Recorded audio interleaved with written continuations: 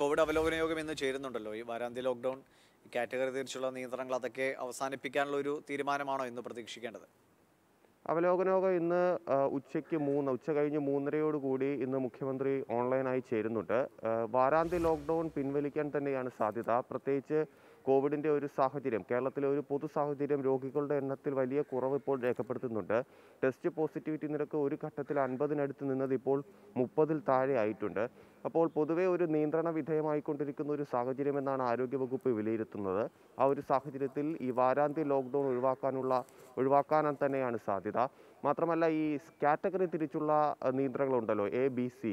ഇപ്പോൾ നിലവിൽ കേരളത്തിൽ ഒരു ജില്ല മാത്രമാണ് സി കാറ്റഗറിയിലുള്ളത്. അത് കൊല്ലമാണ്.